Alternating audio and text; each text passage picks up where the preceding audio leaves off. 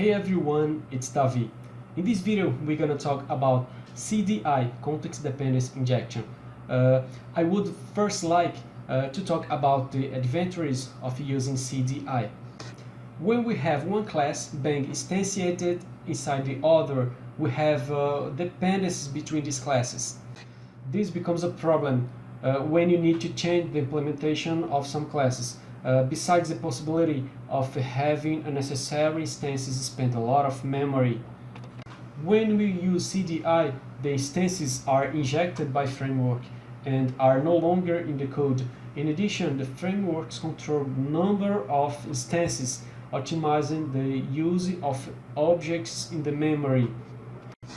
CDI is a Java EE specification there are many implementations of CDI. In this video we're going to use it uh, Weld.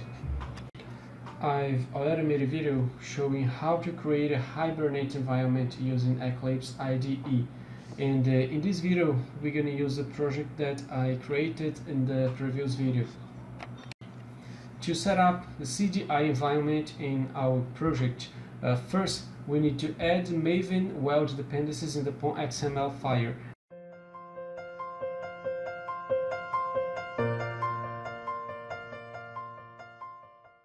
and then make some changes in the project.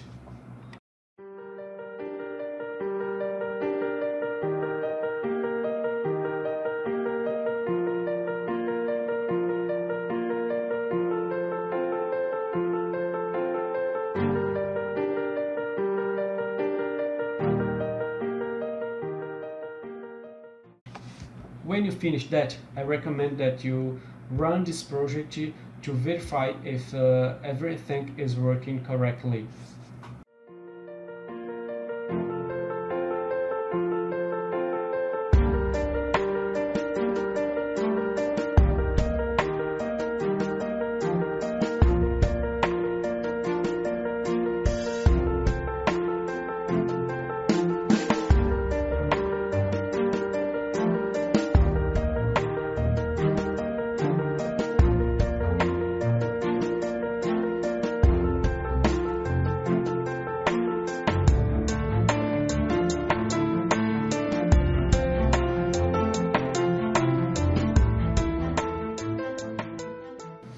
It throws this error because the context was changed. To solve this problem, we need to move uh, the data source link to the new context XML file that was created.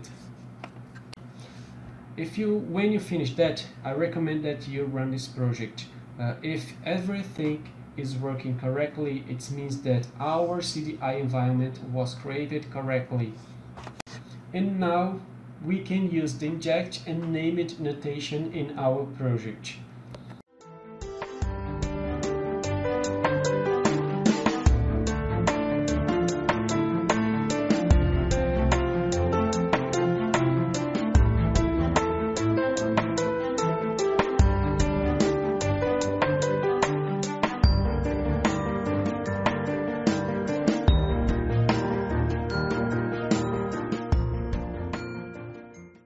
The object was written empty in the database because it was missing a detail. The default scope is request scoped from the bean packager. Uh, the scope that we are gonna use in this project doesn't matter as long as you use this scoped from the context packager. To solve this problem, we're gonna use the request scoped from context packager.